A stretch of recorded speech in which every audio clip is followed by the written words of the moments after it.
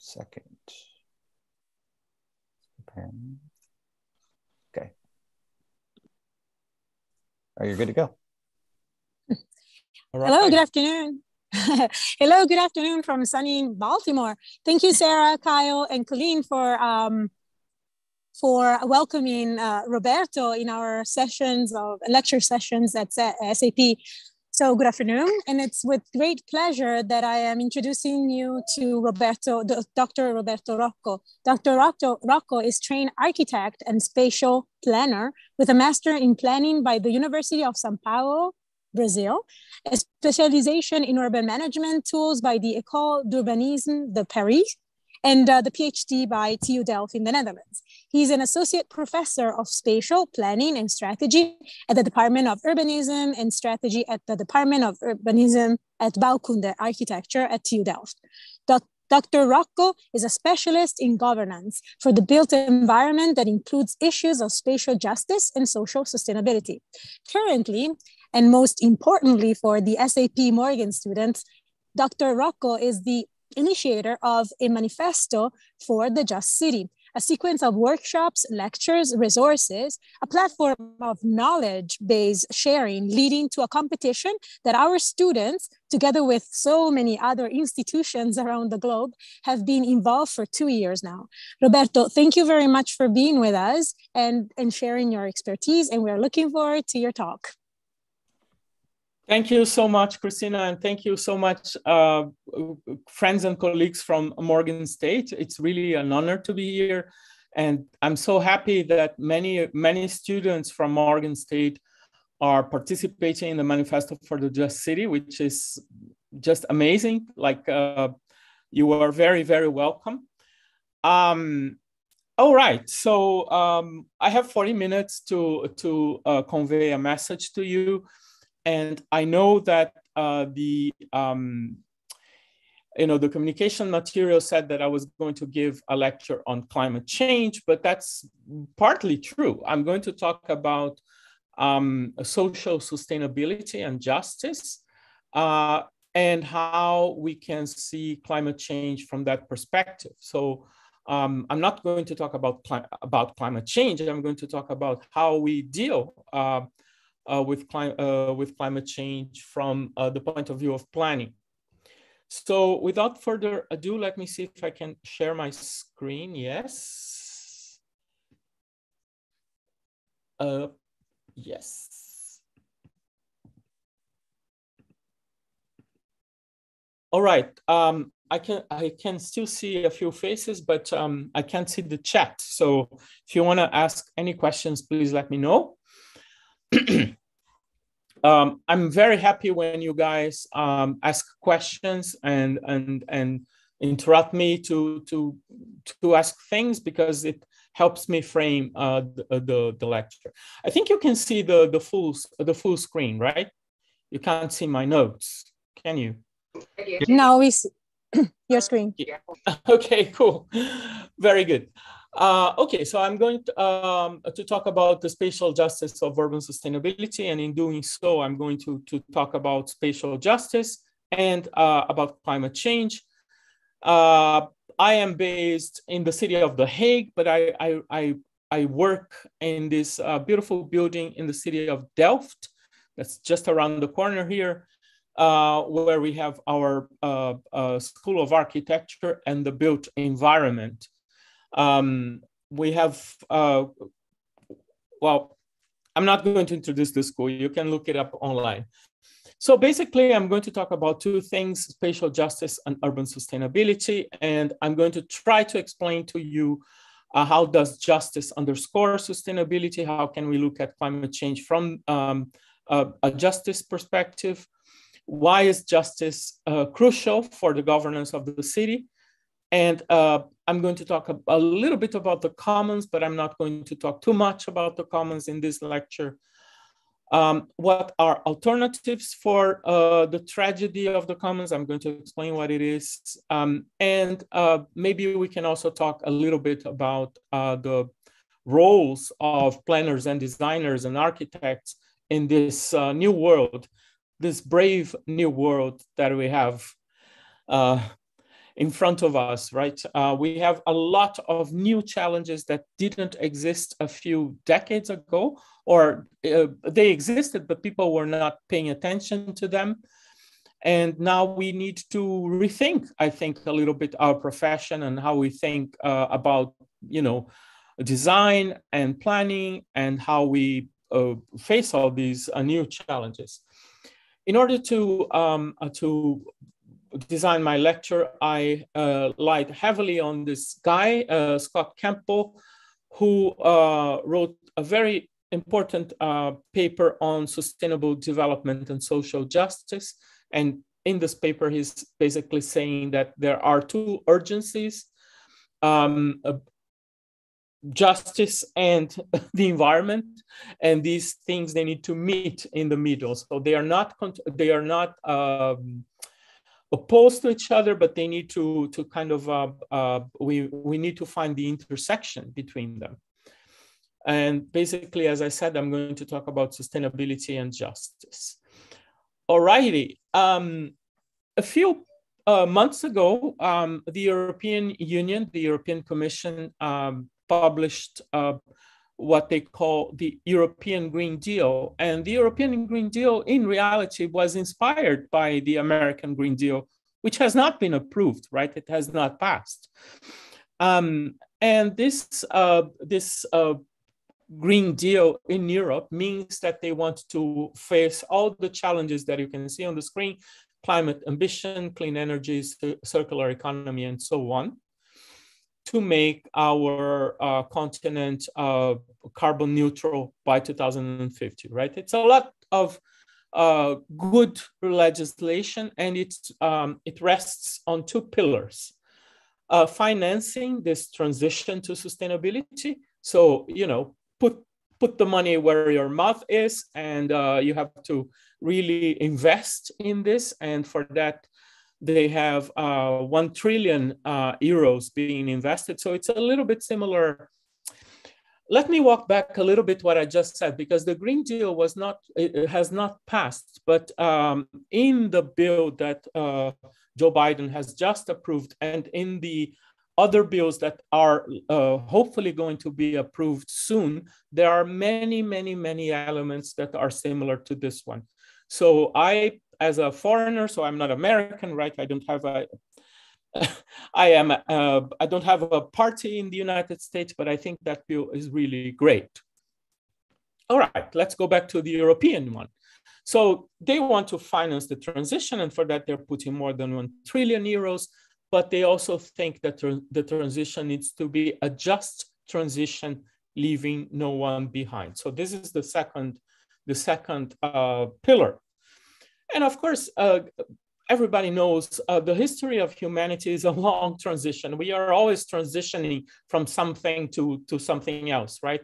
Uh, we were hunter gatherers and now uh, we live in cities. So that was maybe the, the, the greatest transition in our history, but there are many, many other transitions. Just for you to, uh, just as an example, uh, the Industrial Revolution was a huge transition for us, and it did produce winners and losers. A lot of, uh, of people lost their, their jobs in, in, in agriculture, and they were um, crammed in slums in the uh, in the uh, in London, right? I'm getting a little bit distracted by. Oh, I think. All right. Um, all right. So, um, you know, every transition uh, has winners and losers. And with, the, with this, we have actually uh, social upheaval, um, you know, lack of social cohesion, human suffering, and, and, and political upheaval. So these things um, could be avoided um, in, in, in the present transition, right? Um, you know, this was London um, in the 19th century at the, you know, at the peak of the of the of the Industrial Revolution. These are the UK miner strikes in the 80s when mining all but ceased in the in the UK. So, you know, we have winners and losers at the beginning, and now we have winners and lots of losers at the end of the Industrial Revolution, so to speak, in the UK. So, how can we prevent that from happening?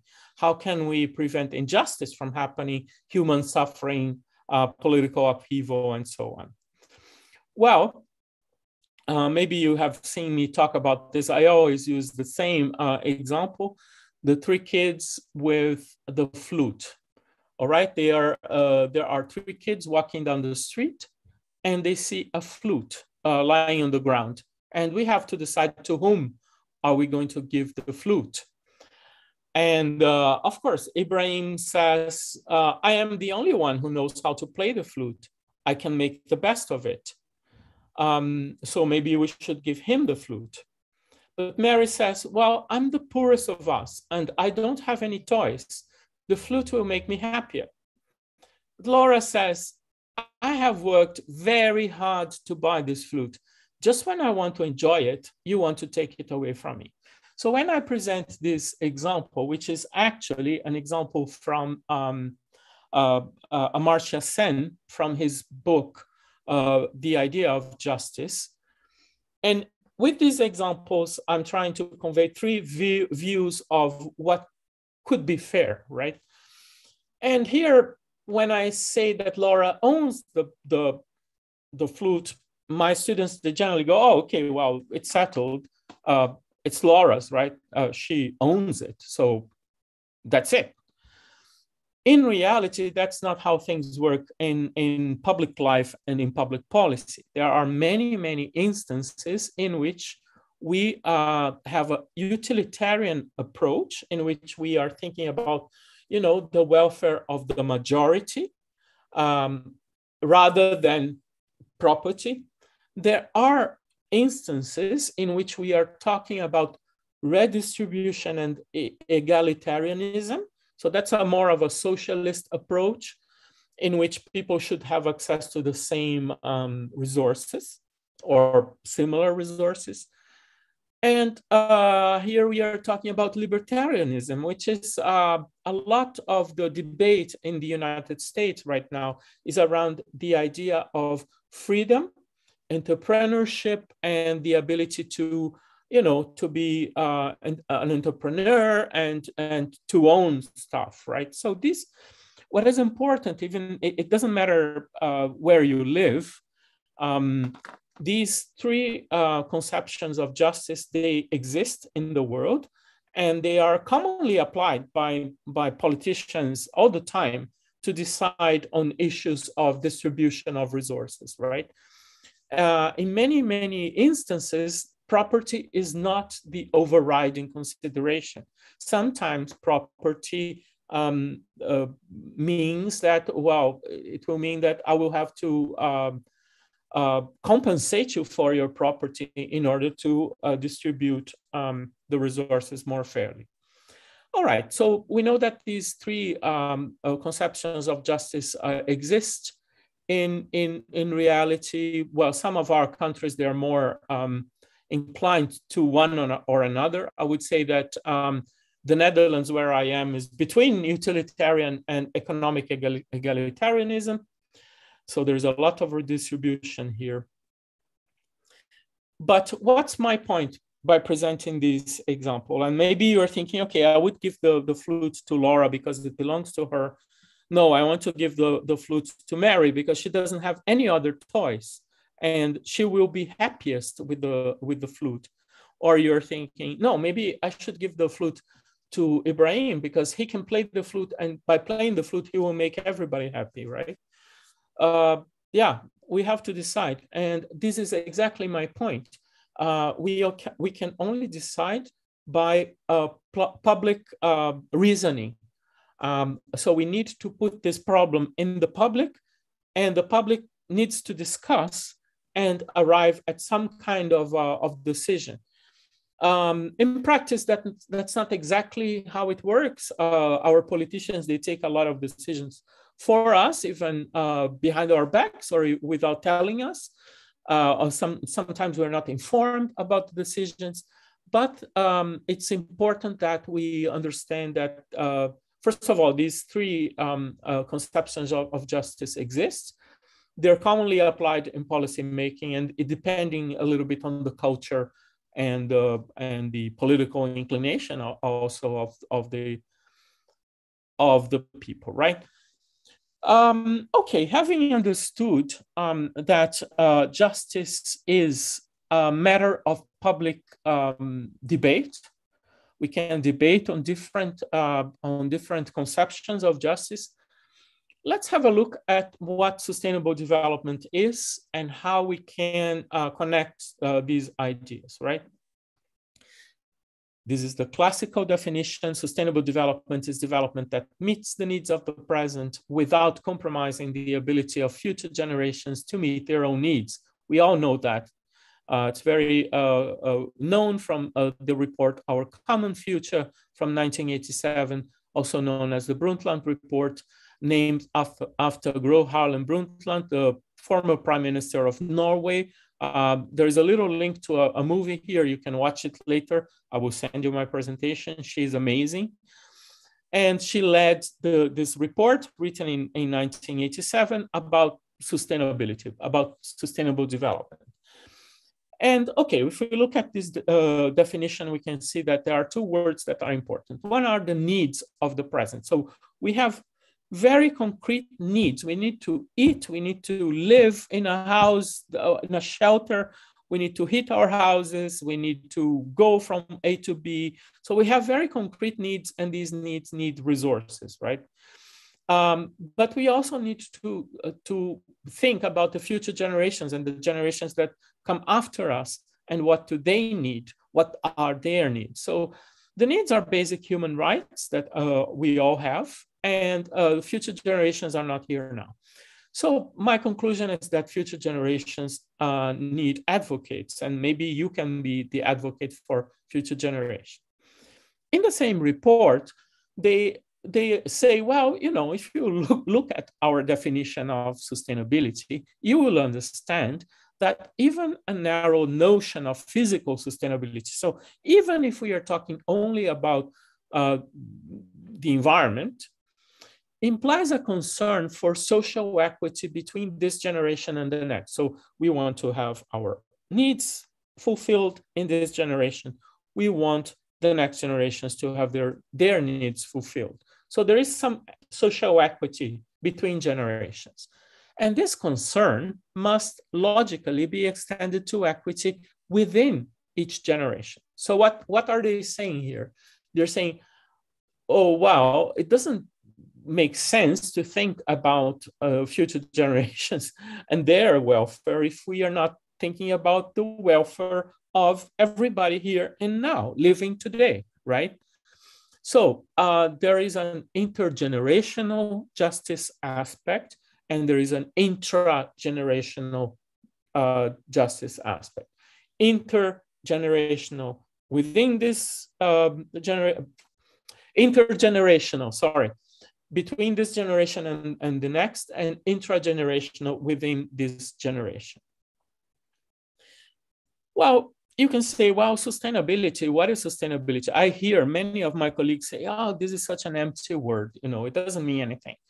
Um, it's such a tired word. Everybody uses it um, all the time. What do they mean? Well, sustainability is multidimensional. People define it using the most amazing uh, dimensions or aspects of it but i try to to keep simple to keep it simple and use three we have environmental sustainability we have economic sustainability and social sustainability uh, and we know now we didn't know that very much before we were too concerned with uh, ecological sustainability, we rightfully, right? We need to preserve our planet. That's very important. But we know now that uh, they, these three dimensions, they need to exist uh, simultaneously for sustainability to exist. So economic sustainability, social sustainability, and environmental sustainability must exist at the same time, simultaneously. Otherwise, you don't have real sustainability. Um, it is actually the political and economic structures that support environmental sustainability and life in our planet. Oh, what, do you mean, Roberto? This is so complicated. Well, in order for us to preserve our planet and to, to, to live together, we need political structures. We need uh, democracies. Sometimes, well, in China, they have a more of a totalitarian state, right? Uh, that is very capitalist, by the way. It's um, but we need political structures that allow us to live together and to kind of manage our life together. Uh, this brings me to the notion of social sustainability, because uh, in this notion, what we are trying to understand is how these political structures and social structures, um, broadly understood, um, oh, something went wrong. Okay. Uh, social structures, uh, broadly understood, how they how they uh, support, how they uh, underscore sustainability. Um, and I'm going to tell you that justice underscores sustainability not only because it's a moral thing to do. So there is the moral imperative, leave no one behind. That's in the in the uh, Sustainable Development Goals, the SDGs, right? But also in the Green Deal, uh, European Green Deal, we shouldn't leave no one behind. That's the right thing to do. No one should suffer or, you know, uh, be left behind. But justice is also important for acceptability of policy, for support for policy, compliance with policy, suitability of the policy to the problem, and coordination. Coordination is a huge um, challenge for us because how can we go from a carbon-based economy to a decarbonized economy uh, if every if everybody does whatever they want, right? We, um, but uh, okay, what does that mean? Should people then be constrained to do certain things? What about personal freedom? What about democracy? Um, how can we coordinate this transition in a way that still preserves um, the personal freedom of everyone. Um, here, I want to make a parenthesis because I think uh, the, the virus, the pandemic has taught us a lesson. Um, coordination is super important. But um, uh, what we have seen is that um, it's not easy to do. And people are not willing to comply because they don't accept the, the, the policies as just. They don't accept uh, that they have to wear masks, uh, you know, when they board an airplane, because they, they think this um, infringes on their personal freedom and so on. So how can we bring these two things together? How can we manage this? Uh, all right, this the transition is urgent. We know that uh, you know our uh, like um, uh, Greta Thunberg says, Our house is on fire. Uh, the transition is urgent, but is it going to be fair? Is it just? So, uh, with my students, I always uh, I always think of examples of transitions in the past. I invite you to do the same. There are several transitions uh, we are going through in the United States. Um, carbon um, uh, charcoal extraction um, so mining in the uh, in the Appalachians is a problem uh, because it's unsustainable environmentally. But the communities that live off um, uh, mining are not very happy that um, uh, mining needs to be stopped. And because they're not happy, they are angry. And because they're angry, they vote for uh, populist populist politicians who offer them very simple but false explanations about reality, right? Um, and uh, and that's an example of how sustainability and justice needs to come together. Uh, we should be able to offer an alternative to the mining families uh, in the uh, in Appalachia so that they understand the problem and that they are able to move on to another sector of the economy in a, a fair way, right? Um, what is happening in reality is that there is a lot of political manipulation and ideological manipulation of these people so that they become uh, extremely against uh, climate change and extremely against any policy that supports uh, the transition, the fair transition, and so on. So I hope uh, with my examples, I'm making clear the connection between the, the political uh, structures and the need to make our planet sustainable. Um, um, wow, this is a difficult part for me to to uh, to explain. Uh, I will try to do it uh, the best that I can, and I hope uh, you interrupt me if you don't understand what I'm saying. Uh, not because I my English is not perfect, so please forgive me. Um, we have two things that we have to consider. One is truth, and the other is justice the European Union has three, three uh, kind of guidelines for policy making. So every policy here needs to be um, uh, evidence-based and science-based. It means, to, which means that it needs to be based on some kind of truth that we found through serious research, right? It needs to be, uh, every policy needs to be participatory or, or at least uh, there must be some citizen engagement, which speaks to the justice, right, of the of the of these two things. And it needs to be integrative. So it needs to uh, the policy needs to integrate several sectors of of activity. That's not so much our concern right now, but our concern is really about truth and justice. Um, this how does that speak to architectural planning students right? Or designers in general? Why are you talking about these things roberto here? Um, one thing that uh, bothers me to no end is that uh, we are taught in our architectural schools that we are little geniuses and that with our designs we are going to save the world right and there is less concern for the first part of, of this, uh, of this um, uh, sentence here that we need to do things that are evidence-based. We need to do research. We need to do really serious research to understand the problem and to address the problem in a, in a true way. And uh, another thing that um, um, uh, bothers me to no, to no end is that um, uh, justice is seen as a, something rather personal or too philosophical and therefore yeah it's not for us to to talk about that. And i i disagree. I think we need to talk about uh, both uh, justice and truth because they not only contribute to the formation of a democratic sphere here but they are also underscoring science and they should underscore design more, more i think um, um, as my friend Greta Thunberg uh, says, science and democracy are strongly interlinked.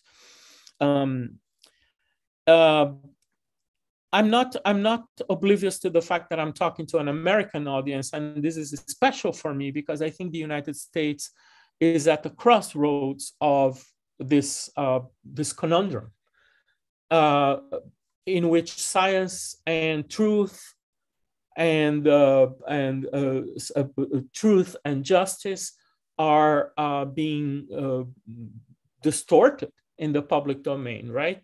And by by by politicians, and I think we need to be really, really, really, really careful about that. Okay, um, I still have twenty. Oh my God, I still have twenty minutes, guys. So I hope you're not too bored. but please tell me, Christina, you have to, I don't know if I can't see Christina anymore, but please tell me when I have to stop. Ah, we are fine, I think. Sarah? yep, you've got plenty of time. Good. Yeah, I, I see that. I see here, I still have 20 minutes. So uh, bear with me. No, no, this is not boring. No, not at. Okay. um, all right. What we are um, what we are experiencing right now in our world, and many of you, I'm sure, will think, oh, you know, a lot of it is because of overpopulation. If only people had less children, the world would be better, right? But that's uh, very, very misleading. I don't think overpopulation is our problem at all. Uh, actually, the United States at the moment is facing a, a, the beginning of its demographic crisis, where the population is not being uh, replaced, right, by the natural birth and immigration. So uh, in a few years, it's possible that the population of the United States starts to decrease. Um, of course, that's not going to happen uh, tomorrow, and it's not happening in Africa or in some parts of Asia, but it is happening uh, in Europe. It's happening in Latin America. Um, you know, Latin America until until last week it was uh, the global south but it, now they are facing a demographic uh, crisis. China is already facing a demographic crisis. So overpopulation is not really the problem. I think the big problem is overconsumption and uh, unregulated consumption and consumption by little groups of people at the expense of very large groups of people who don't have access to any resources. So I go back to my notion of um, of uh, of uh, justice, right? So Ibrahim, he would say, "Well, that's not fair, right? We should think of the, you know, the majority. We have to make the majority uh, have access to things." Um, because this consumption, uh, this overconsumption happens in this uh, finite planet. We have only one planet. We are not going anywhere. Sorry, um, uh, Elon. Uh, you know, Elon Musk is not taking us to Mars. Uh, I can guarantee you that he's taking a, a, a, like five billionaires, and we are going to stay here, right? And we can't go anywhere. Uh, we need to fulfill our our uh, our needs, as I explained, but um, we are fulfilling these needs in very unfair ways. Some people are, are consuming too much, other people don't have enough, and we are consuming the, the, the whole planet, and that's unfair for future generations. It's also unfair for the vulnerable people in this generation. We know that not everybody has the same um, capacity to earn um, their living or to be entrepreneurial and to be, you know, like Elon. Well, not everybody is an Elon Musk. Uh, we have to think about people who are um, vulnerable. And I'm going to say something that is shocking uh, uh, for some, but in half of the world, women are oppressed. They can't have business, they can't own property, uh, they are oppressed. Uh, and well, don't get me started, right? Um, um, um, uh, the gender imbalance uh, globally is horrible. So how can we achieve some kind of justice when uh, a few people are consuming so much, others cannot consume as much, and we have so many vulnerable people in the world who cannot actually compete for, for the resources. That's a, a huge problem. Um, this is the tragedy of the commons. So if we think of the world as our big commons, right?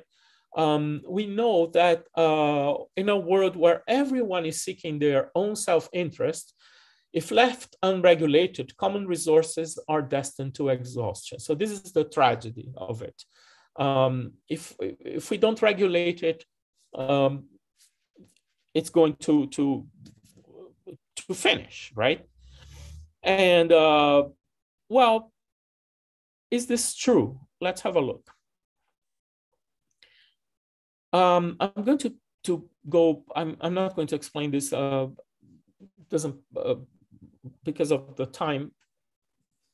oh no, now I see, I have five minutes actually. 10 minutes, I, I think I have 10 minutes. I, I was looking at the wrong uh, watch. Uh, as I said, um, we are in this uh, ball floating in this in space, and we are here alone so far, right? I do believe there is life in other planets, but so far they haven't contacted us, and uh, we need to make do with these uh, with this resource that was, you know, given to us, and uh, from which we can uh, live off and we have to think about uh, this generation and we have to think about the next generations that we know. But sustainability studies start to conceptualize our planet as a big commons. It means that this is our common resource and um, okay you know okay we have private property and some people they own parts of this resource and it's uh, incredibly unfair because 1% owns um, uh, you know, 80% of the of the earth. Uh, that's not fair. But uh, what can we do about it? Um, what can we? Uh, how can we think about it? So there is no agreement, right? There is the lifeboat hypothesis. The, there is the boat hypothesis, and there is the Titanic hypothesis, which is my hypothesis that I invented, which is a bit funny. And I'm going to explain how a lot of our politicians think they believe in the lifeboat boat hypothesis. The lifeboat hypothesis in sustainability is like this. We are in, an, uh, uh, in a lifeboat and uh, we are in open sea and around us there are 100 people trying to get on the boat. And the boat is our resource. If we let all these 100 people um, uh, get to the boat, the boat will sink and we will all die. So this is how a lot of our politicians conceive the world. This is a, called a world view, right? And uh, this is uh, related to the to the use of resources. Let's see how this um, this connects with the real politics. My solemn duty to protect America and its citizens the United States will withdraw from the Paris Climate Accord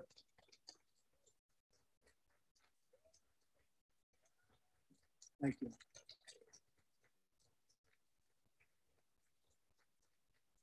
Thank you. But begin negotiations to re-enter either the Paris Accord or in really entirely new transaction on terms that are fair to the United States, its businesses, its workers, its people, its taxpayers. So we're getting out, but we will start to negotiate and we will see if we can make a deal that's fair. And if we can, that's great. And if we can't, that's fine.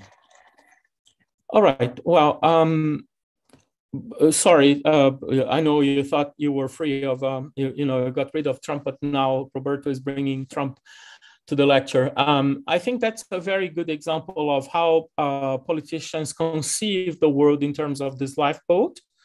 Um, um, uh, so the United States would be this lifeboat, and you know we have to keep everybody out, otherwise uh, we are going to sink. And it's not fair to the American people then to have this uh, uh, you know, preoccupations about climate change and oil and, and charcoal and so on, right?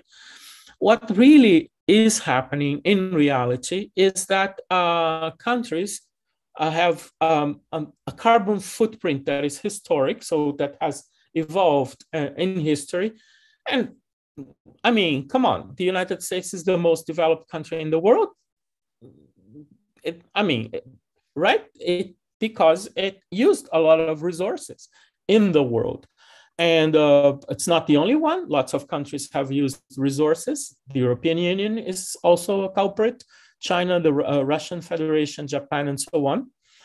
Uh, but we can't think of the world as this life uh, of our countries as lifeboats because we are all interconnected. So the uh, boat hypothesis, which is the hypothesis that I think is right, um, um, tells us, well, there is nobody at sea trying to get in our boat. We are all on the same boat, right? Um, and this boat is called the Earth. And we have to now try to understand how are we going to, to um, share the resources among everybody who is in the same boat. I love this picture, but this picture has a problem. Everybody uh, on this picture is beautiful and, and, and young, and that's not how, how the world is, right? Um, however, I like I like that there are all races here and everybody's on the same boat. That's why I use it. But uh, we are um, how are we going to divide the resources of this boat among us? And uh, then we have all these um, different views, right? My humorous take on the boat hypothesis is that um, we are actually on the Titanic, and the Titanic has first class, the second class, and the third class, and people have uh, uh, they have access to very different uh, kinds of resources, uh, and we have to think about that. One way to think about that is the donut economy um, uh, way of thinking, which is about uh, trying to understand what are our uh, uh, bio limits, so the, the, the, biophysical boundaries of our planet, and what are the social th thresholds that we need to, to fill. And here you can see that the Philippines um, uh, hasn't uh, reached the biophysical boundaries of the world, so they're doing quite well. But they also haven't filled the social thresholds, so they have problems in their social, uh, in the justice part of of the of sustainability. Whereas the European Union has filled a lot of the biophysical boundaries, but it was a little bit more successful in the social thresholds. So uh, this is uh, this is by a woman called Kate um, Raworth. Uh, she is British, and uh, you can read about the, the donut economy very easily on the internet. Okay. Um, I want to finish with a few examples. So I'm going to jump a little bit so sorry if I'm, um, I think I'm uh, on time, but just to so how does that translate into urban development? Uh, we have um, people using resources but producing jobs and so on. Um, but uh, we, uh, as a society, we suffer the um, uh, let's say the, the negative externalities of that production. And one good example is pollution. So this um, this industry probably well, it's a bad photo, by the way. I don't think this is an industry. This is heating. Um, but just to illustrate what, what I want to say, um, uh, an industry produces jobs, products, uh, money, it produces prosperity, but it also produces what we call negative externalities.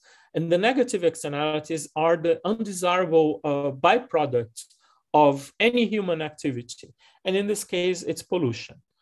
Uh, while the while the the um, sorry, uh, so while the um, um, fruits of this prosperity are shared by some, the negative externalities produced here are shared by all of us. So this needs some kind of regulation, taxation, etc., to off offset the negative externalities. Another example is uh, uh, uh, private cars. We all love our cars.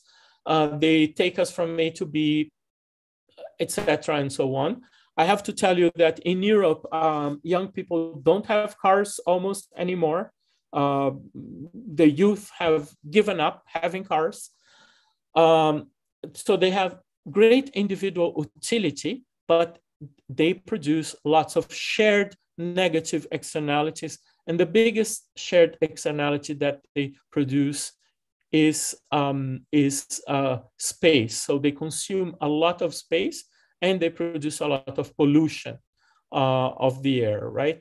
So here, uh, this classical meme, um, so these are the number of people in the cars. If we put them in a bus or in, in bicycles, here we put them in a bus, in two buses, and here whatever in a light rail. So uh, this is to give an example of the negative externalities that I'm talking about. Another example. All right. Um, I want to finish um, with um, this thought that we, as planners, designers, architects, we have a role in trying to understand how these trade-offs occur. Uh, we have a role presenting um, presenting visions to politicians because they lack visions. They are tremendously uh, dumb sometimes, and they don't know what's going uh, on, uh, on on the ground. So it's our job to present them with alternatives and um, and uh, policies and designs that are based on these two things, truth and justice for a sustainable world. I hope, um, I hope uh, you enjoyed the lecture and I would love to have some questions. My lecture, as you can see, is not finished. I, am not going to bother you anymore, but I'm going to send you um, I'm going to send you uh, my, my presentation so you can see how it ends, right, later on. It's quite pretty, pretty self-explanatory. Hi, Roberto. Thank you so much. Um, very insightful. Uh, it all makes sense, and I don't understand how come we just don't listen to uh, to all this. I mean, uh, there are signs left and right, right? Um, I do have two questions, and they're very connected to each other, so you can answer at once, I believe. And I believe it's also connected to your lecture. And I'm referring to the uh, UN conference on climate change going on right now in Scotland, and also yeah. the Belarus, the Belarus uh, invasion, let's say, of immigrants, which is also uh-huh. happening right now. And uh-huh. I would like uh, to ask you what kind of connection is there between justice and trust?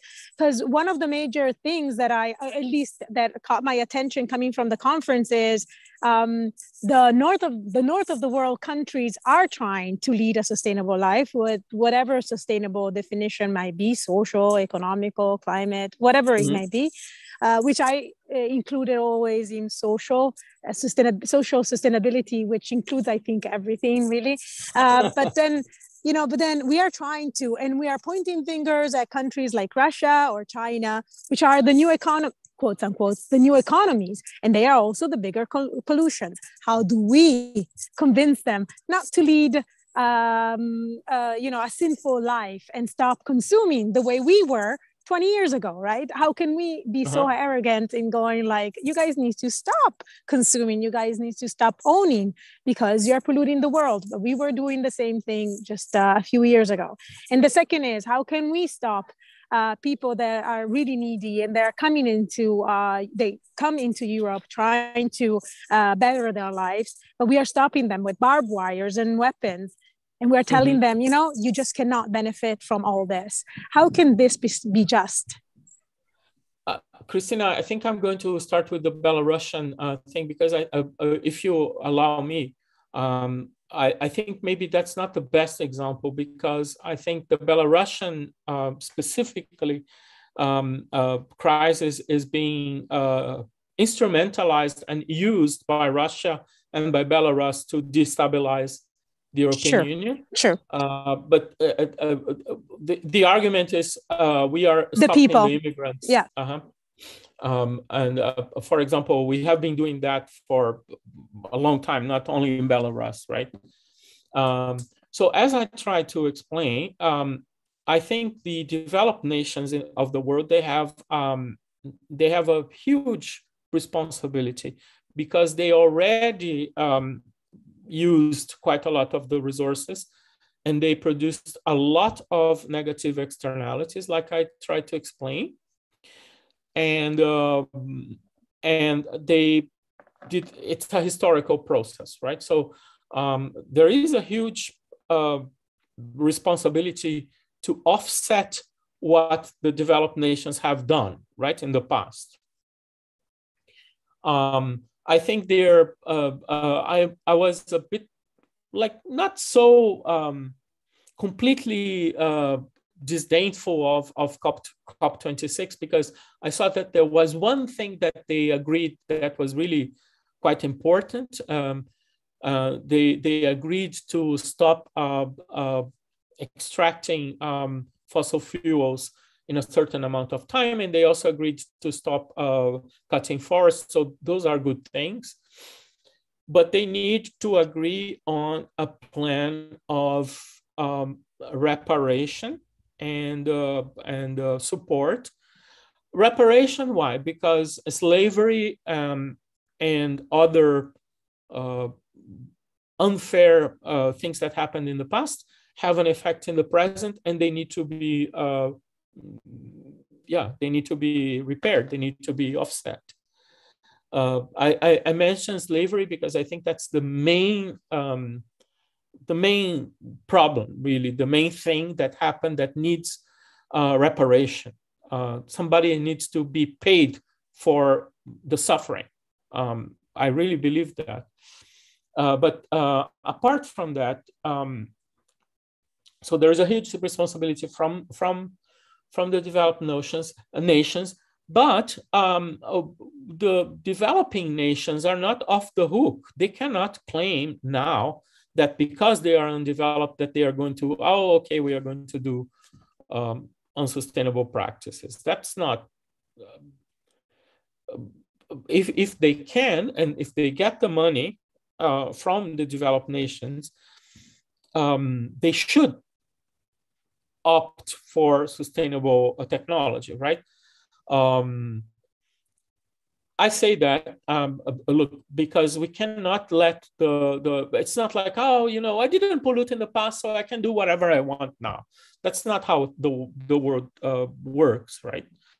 Um, now, um, with my boat hypothesis, what I think it speaks very closely to immigration, huh? because I think if we imagine the United States as this boat, and if you think, okay, we have to stop people coming here because they are going to to to consume all our resources or or the european union uh, yeah that's that's bs right because we are in one world we are all interconnected um, we are all uh, suffering the effects of the pandemic we are and we need some form of global solidarity um, and this global solidarity, I don't know how it's going to happen because um, do we need a global government? Some people are really scared about that. Do we need um, less democracy? Because you know, democracy is a dirty business. It doesn't work very well, and uh, you know, time consuming, and uh, you know, people argue all the time it's easier to be like China and just say, okay, let's do this and this and that. Whoa, really? Do we need to be like China? Do we need to really infringe on people's uh, individual freedom? So, look, I don't have an answer, but uh, I'm happy to discuss, really. so my, my answer actually is that I believe we need more and better democracies and we need more and better governments, not less government. agree. Thank I you. yes, you did. You did. Sorry for the rant. Guys, uh, students, totally understandable. if there are questions, I'm happy to answer. Guys, do not hesitate. Remember that there is a manifesto, so we have the biggest protagonist right here. oh, Jesus. anyway, um, maybe if you guys want to do make questions on the chat. Yeah. Anyway.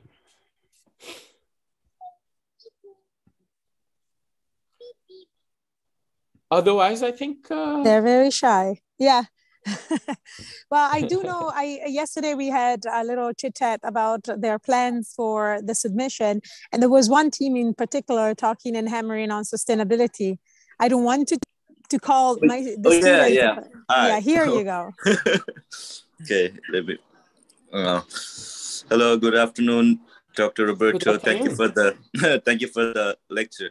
Yeah, uh, for the manifesto, uh, we're trying to work on the topic like you just presented about uh, sustainability and the, modern technology going hands in hands uh, for a better sustainable sustainable community or the cities you know how can mm-hmm. we incorporate those two two stuff for the betterment for us as humanity or as a you know for the planet as a whole mm-hmm. mm-hmm. cool Well, but do you have a question or uh, uh, i mean this sounds like music to me so go go forward uh, what i was saying is there any like other resources you know or any ideas that we could put into the manifesto about uh, like hammering on one particular area of the sustainability with technology like you know it's pretty big it's pretty vast uh, uh sagar sagar do i pronounce it correctly? Uh, i think you have to talk from your own heart and your own experience. So uh, uh, there must be something that makes you angry uh, right about what's going on in the world. And maybe that thing really affects you personally. So I would suggest that really, um, really talk from the heart and talk from things that you experience. Uh, as injustice or as uh, what is unjust in your city um, or in your country. Um, I would say so. Uh, I don't have a recipe. Uh, in one of my emails, there is a, a, like a link to a lot of, of, of texts that we shared with you guys uh, I suggest uh, reading some of those te- texts, but uh, you know, in the end, it's about what are you angry about or what really bothers you, right? Uh, uh thank you. and any any other any other questions? Guys? Well, Devin is saying, I think the overconsumption helped play a role into the situation with homelessness.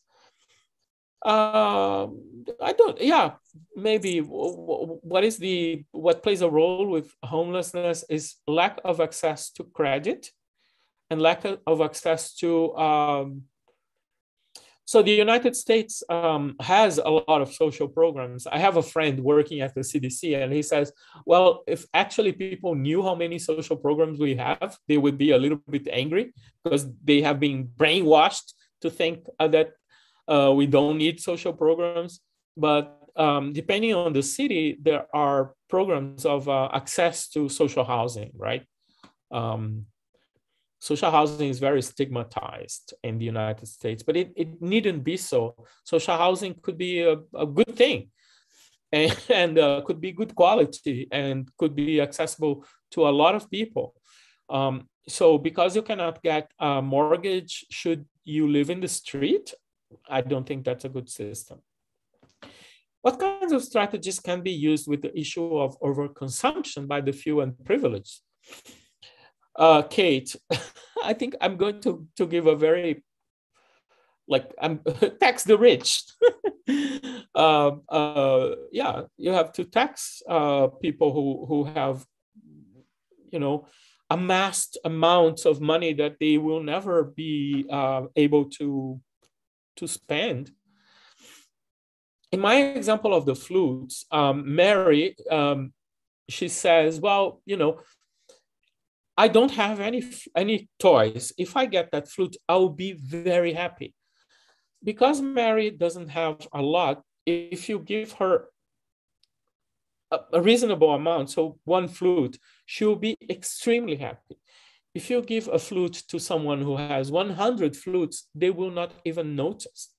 So I think there is space. And uh, I know that uh, you cannot talk about socialism in the United States because that's kind of a. Ah. but um, in reality, in Europe, for example, there are lots of programs and ways to distribute the wealth a little bit by taxing people uh, who earn too much or a lot and trying to help those who earn too little. Um, and I think that's um, that's not communism; it's just democratic socialism, and which I think is uh, quite uh, quite okay. This is this is the case in the Netherlands, right, where I am.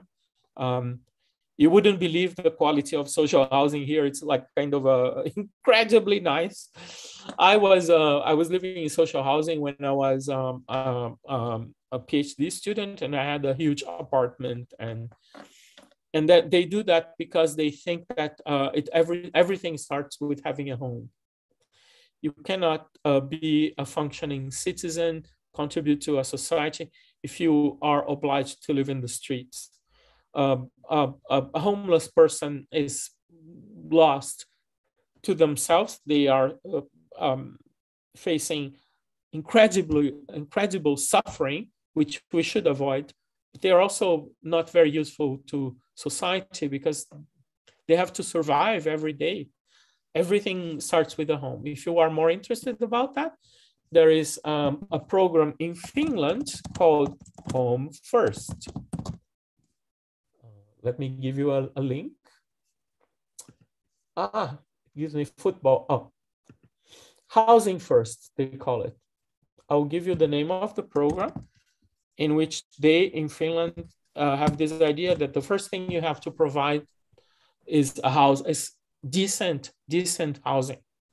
I'm not saying that everybody in the in, in the Netherlands or in Europe has a housing. And we have there there is there are homeless people here uh, as well but uh, not as much yeah especially with you 100% i think that the united states has such a long way to go before people can think that way i mean as was evidenced by the struggle to pass the current bill that we passed and hopefully the next bill um, with the infrastructure. And, oh, this uh, this new bill, yeah. this bill from uh, you know the last bill that was approved, it is it has a lot of very good things in it. It's a pity that they couldn't go as far as they wanted because of uh, opposition, even from within yeah. the, the, Democratic Party, but.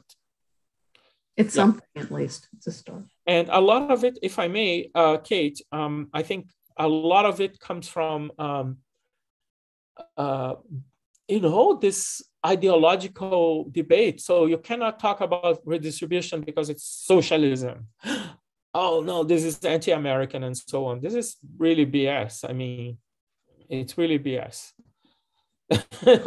i agree oh, although yet uh, there was a protest right in um, in rotterdam about social housing and the fact that they are uh, coming down they're basically destroying a lot of social housing uh, estate.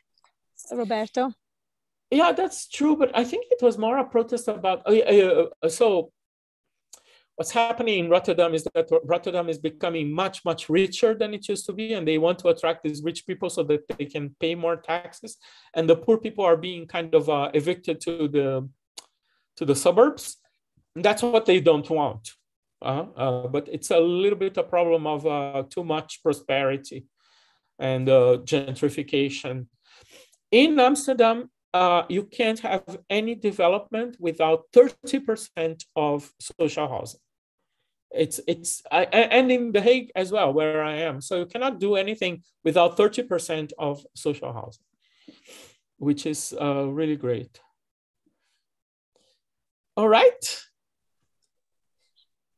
Uh, I, I don't know. I think we reached the hour and we went over. It's always yes. very interesting to talk to you, Roberto.